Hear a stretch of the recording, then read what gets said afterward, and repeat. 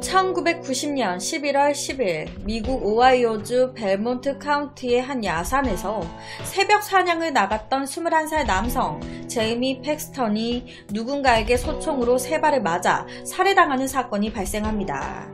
이제 21살인데 이 제이미 팩스턴의 엄마인 진과 남편은 그 충격이 어마어마했겠죠. 경찰서에 매일같이 찾아와서 우리 제이미를 죽인 범인 찾았습니까? 제발 좀 잡아주세요. 정말 애타게 빌었지만 경찰은 워낙 사건 당시 목격자도 없고 총상 외엔 특별한 외상, 흔적도 없어서 범인을 잡는 데는 시간이 걸릴 것 같은데 자식을 먼저 보낸 부모의 슬픔은 정말 상상도 못한다고 하죠. 이때 제이미의 엄마 진 역시도 매일매일 울고 잠도 못 자고 밥도 못 먹고 우리가 피해자인데 왜 우리가 이렇게 힘들어야 하며 왜 이런 고통을 당해야 하나. 얼굴도 이름도 모르는 그놈은 두 다리 다 뻗고 잠만 잘 자고 있을 텐데.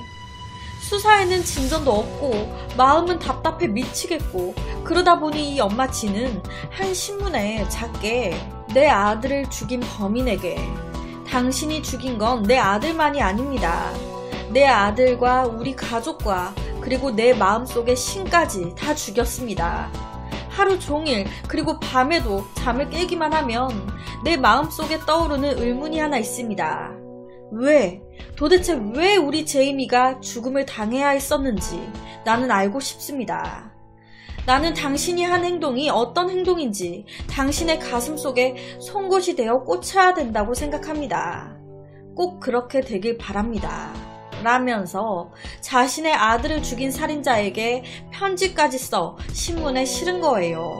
이러다 보니 경찰은 뭔가 좀 더 난감한 거예요. 이 피해자 부모의 마음은 알겠는데 나도 얼른 범인 잡아주고 싶은데 뭐 단서가 있어야 수사를 하지. 엄마 진이 쓴 이 편지를 과연 범인도 읽었을까요? 여러 가지 상황을 봤을 때 이 범인 약간 미친놈 같은데 이런 놈이 만약 이 진의 편지를 읽었다 한들 뭐가 달라지기나 할까요? 범인이 나타나길 바라는 엄마 진의 편지를 비웃듯 증거 없는 살인사건은 그렇게 종결되는 듯 했습니다. 하지만 이대로 포기할 순 없는 거잖아요. 계속해서 이 엄마 진 편지를 써서 신문에 내 보내는 거예요. 나는 당신이 누군지 왜 그런 짓을 했는지 꼭 알고 싶습니다. 내 아들이 당신에게 죽고 난 뒤 1년 동안 내가 받은 고통이면 그 대가는 충분하다고 생각합니다. 아들 제이미가 사망하고 1년이 넘도록 계속해서 이 살인마에게 편지를 쓴 거예요. 이렇게 되다 보니 점점 이 엄마 지는 아들을 죽인 살인범에게 편지를 띄우는 어머니로 화제가 되기 시작했고 신문뿐만이 아닌 방송까지 타게 됩니다. 옆에가 실제 엄마 진이에요. 그날 이후로 우리는 사는 목숨이 아니에요. 그냥 하루하루 버틸 뿐이죠. 내 아들을 죽인 살인범은 들으세요. 당신이 한 행동이 우리 가족뿐 아니라 당신 가족들에게까지 어떤 고통을 주는 건지 생각해 봤습니까? 그렇게 1년이 넘도록 엄마 치는 아들을 죽인 살인범에게 편지를 쓰고 방송에까지 나와 메시지를 보내면서 자신의 심경을 전했습니다. 그 엄마 진의 마음이 전달이 된 걸까? 어느 날 타임스 리더라는 한 신문사로 편지가 한 통 도착합니다. 팩스턴 부부에게 살인범에게 답장이 온 거예요. 범인은 뭐라고 답장을 썼을까? 이 살인마는 내가 제이미를 죽인 사람입니다. 나는 당신의 아들 제이미 팩스턴과 아무 상관이 없는 사람이에요. 제이미가 살해된 건 나를 엄습해온 저항할 수 없는 충동 때문이었습니다. 나는 소위 연쇄살인마라고 할 수 있는 사람이에요. 하지만 당신네들처럼 직장도 있고 가정도 있는 사람이죠. 내 머릿속에 있는 그 무엇이 나로 하여금 무자비한 살인자가 되게 만들어요. 그날도 죽이고 싶다는 생각 하나로 총을 챙겨 술을 마시며 차를 몰고 가는데 내 눈앞에 차 한 대가 보이더라고요. 그리고 그 차에서 내리는 제이미까지. 그걸 본 순간 누군가 내 머릿속에서 해치워버려, 죽여버려 라고 명령했어요. 난 제이미의 차 뒤에 내 차를 딱 세우고 내렸고 제이미는 차 트렁크 쪽으로 내 쪽으로 다가왔습니다. 그리고 무슨 일이 벌어졌냐고요? 나는 제이미를 쏘면서 쓰레기 더미 위에 빈병을 쏘는 거라고 생각했어요. 아무 생각 없이 방아쇠를 당겼습니다. 그리고 그는 움직이지 않았죠. 이렇게 적어 보냈습니다. 그러니까 이 말은 네 아들을 죽인 이유? 몰라. 술 취해서 차 타고 가다가 그냥 내 머릿속에서 누가 죽이래서 죽였어. 이거예요.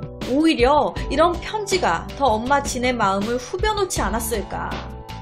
범인에게서 온 답장, 이건 엄마 진이 이 싸움에서 이길 수 있다는 희망을 보여줬고 그녀는 더욱더 냉정해졌습니다. 경찰은 이 편지를 통해 범인에 대해 여러 가지를 추정할 수가 있었습니다. 이 범인은 자기는 연쇄살인마라고 할 수 있다 라고 했잖아요. 그러니까 이 말은 초범이 아닌 거죠.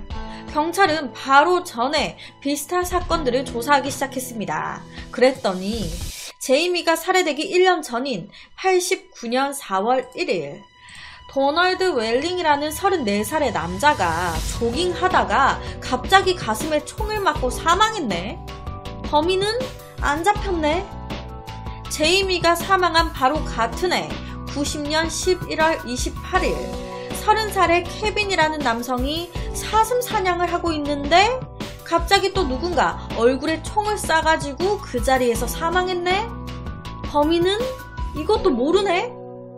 곧바로 2년 뒤 92년 3월 14일 클로드 호킨스라는 19살 소년이 낚시를 하다가 또 총에 맞았네?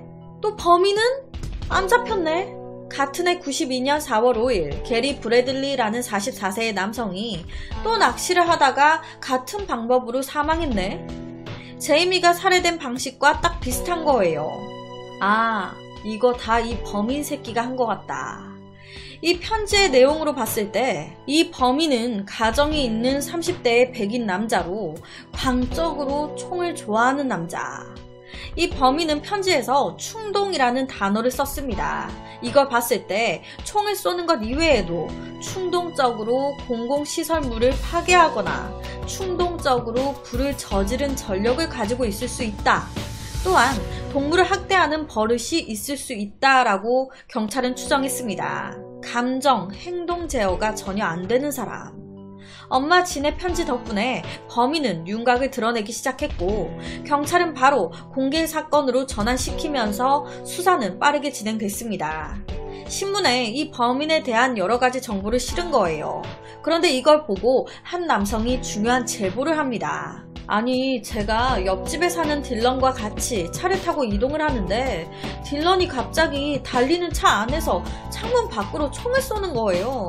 아우 제가 너무 놀래가지고 뭐야 너 그 총 어디서 난 거야? 라고 물었더니 딜런이 훔쳤어 이거 너무 멋있지 않아? 이거 테드 번디가 사용했다는 그 총이야 여기서 테드 번디는 연쇄살인마로 플로리다에서 사형당한 살인마입니다 그놈이 썼던 총과 같은 종류의 총이라고 하면서 이 총이라면 나를 테드 번디처럼 멋진 사나이로 만들어줄 것 같아 사실 어제 마트에 불 지른 것도 나야. 넌 내가 지금까지 사람을 죽인 적이 있는 것 같아 보여? 어? 아니? 그래? 그럼 넌 날 아직 잘 모르는 거야. 이렇게 얘기를 했었다는 거예요. 그 이후부터 계속 점점 더 딜런이 포악해지고 이상해졌다고. 남의 집 개를 이유 없이 총으로 쏴 죽이고 총에 대해 광적으로 집착하고 모든 게 경찰이 추정한 범인 몽타주와 딱딱 맞아 떨어지는 거죠.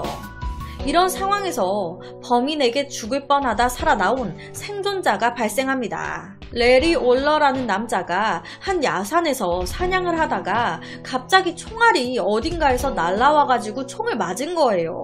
그런데 이때 이 남성이 산 겁니다. 총알이 약간 비켜간 거죠. 놀래서 팍 쓰러졌다가 몸이 괜찮으니까 이내 곧 일어났는데 그때 눈에 띈 건 놀래서 도망가는 듯한 한 남성의 뒷모습. 어, 네가 날 쐈구나. 바로 뒤쫓아 간 거예요. 그리고 급하게 차에 타는 범인으로 추정되는 사람의 얼굴까지 이 남자가 보게 된 겁니다. 피해자이자 중요한 목격자인 거죠. 이 레리 올러라는 생존자가 본 당시 유력한 용의자의 얼굴은 어?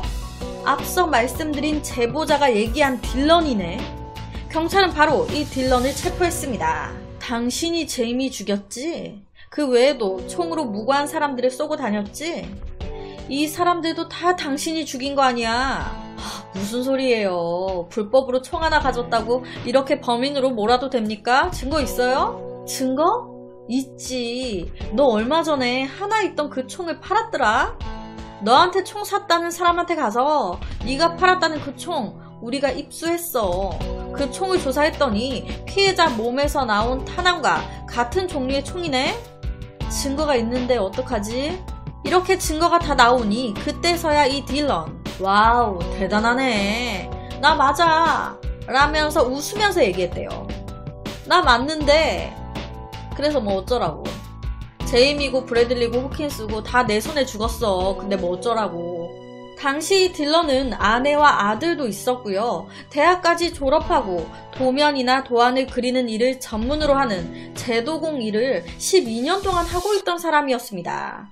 전혀 뭐 문제가 없어 보이는 사람이었는데 왜 이런 짓을 한 걸까요? 경찰은요, 가장 궁금했던 걸 물었어요. 그냥 가만히 있었으면 못 잡을 수도 있었거든요. 미제 사건으로 그냥 남을 수도 있었는데 이 엄마 진의 편지를 읽고 답장을 했잖아요. 그게 엄청난 단서가 되면서 잡힌 건데 이게 궁금한 거예요. 왜 너 따위 놈이 굳이 그 편지에 답장을 했는지 무슨 생각이었던 건지 이에 대해 딜러는 아 그거 뭐 아들에 대한 어머니의 사랑에 감동해서랄까? 나에게 엄마란 존재는 아들도 쉽게 버리고 냉정한 눈빛만 보내는 그런 존재거든. 친엄마나 새엄마나. 1993년 7월 딜러는 오하이오주 법원 재판에 서게 되는데요. 이때도요 전혀 일말의 죄의식도 없었고 막 웃으면서 재판을 했대요. 뭐 제이미도 네가 죽인 거 맞냐? 그러니까 네 맞는데요. 막 이러고 이 유가족들 얼굴도 뻣뻣하게 딱 쳐다보면서 웃고 그러다 보니 그 재판장에 있었던 제이미의 엄마, 진부터 해서 다른 피해자의 가족들은 미치는 거예요. 저 새끼 저거 내 가족 죽이고도 저 쳐 웃고 있는 거 보라고. 이런 식으로 재판에 임했다 보니 딜런에게 징역 165년형이 선고됩니다. 그런데도 계속 웃어. 피해자들이 끝까지 진 느낌이 들고 똥 닦고 뒤 안 닦은 찝찝한 느낌이 들고 죄의식 없는 모습에 더 화만 나는 거예요. 예를 들어 10년형을 받아도 막 울고 죄송하다고 빌고 죄를 뉘우치는 모습을 보이면 이게 좀 마음이 그래도 좀 덜한데 165년형을 받았는데도 죄의식 없이 웃으면서 콜 감옥 가서 살지 뭐. 웃으면서 들어가 버리니까 더 열받는 거죠. 이 모습에 엄마 지는 더욱더 느꼈습니다. 아, 이놈이 뭔가 모르는 게 있구나. 내가 알려줘야 할 게 있겠구나. 더욱더 마음을 좀 강하게 먹어야겠구나. 그래서 실제로 재판이 딱 끝나자마자 한 방송 기자가 엄마 진을 인터뷰를 진행했는데 이때 진 이런 얘기를 합니다. 딜런, 넌 비겁하고 불쌍한 겁쟁이야. 재판 내내 넌 강한 척 계속 웃곤 있었지만 사실 넌 겁쟁이라 나와 마주할 용기조차 없을걸? 그래서 난 널 동정해. 그리고 이 영상을 딜런이 또 보게 된 거예요. 며칠 후 이 엄마 진의 집으로 전화 한 통이 걸려옵니다. 전화를 걸어온 사람은 감옥에 있는 연쇄살인마, 내 아들을 죽인 범인 딜런이었어요. 왜 딜런이 전화를 했을까? 딜런은 이유는 알 수 없지만 당신이 나한테 불쌍한 겁쟁이라고 하는 말에 내가 마음이 좀 아팠어요. 그 이유를 알고 싶어서 전화했습니다.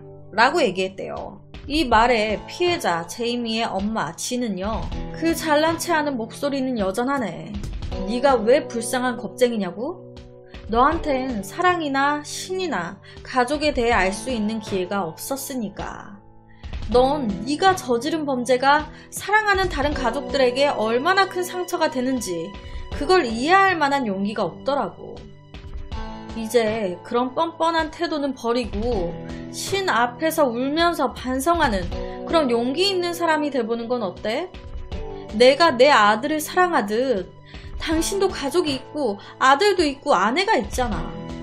당신이 사랑하는 당신 가족들을 위해서 말이야. 감옥에서 이런 죄수가 이제 통화하거나 할 때 그 바로 옆에 교도관 사람이 같이 있잖아요. 그 사람 말에 의하면 실제로 이때 이제 통화를 끝내고 이 딜런이 울었대요. 진짜 이 모습을 보고 경찰이나 교도관들도 그 짐승 같은 냉혈하니 눈물을 흘린다고. 도대체 이 피해자의 엄마인 진에게 무슨 얘기 들었길래 저렇게 우는 건지 모르겠다고 막 그랬었대요. 이제 추정하기로는 이제 아무래도 자기 엄마한테 들었어야 할 말을 피해자의 엄마인 진에게 처음 들어서가 아니었을까. 그래서 순간 이렇게 울었던 게 아니었을까. 뭐 그렇게 얘기하더라고요. 엄마 진은 편지를 통해 묻힐 뻔했던 아들의 살해범을 수면 위로 끌어올림은 물론 그녀가 원하는 대로 냉혈한의 가슴에 회한의 눈물까지 이끌어냈습니다. 이 모든 건 사랑하는 아들을 가슴에 묻어야 했던 위대한 모성애의 힘은 아니었을까요? 이 딜런은 감옥 생활을 하다가 2011년 10월 21일 알 수 없는 질병에 걸려 3주 끙끙 앓다가 61살의 나이로 교도소 안에서 사망했다고 해요. 그래서 오늘은 포기하지 않고 아들을 죽인 살인범을 잡고자 아들을 죽인 살인범에게 편지를 썼던 한 엄마에 대한 이야기를 가지고 왔습니다.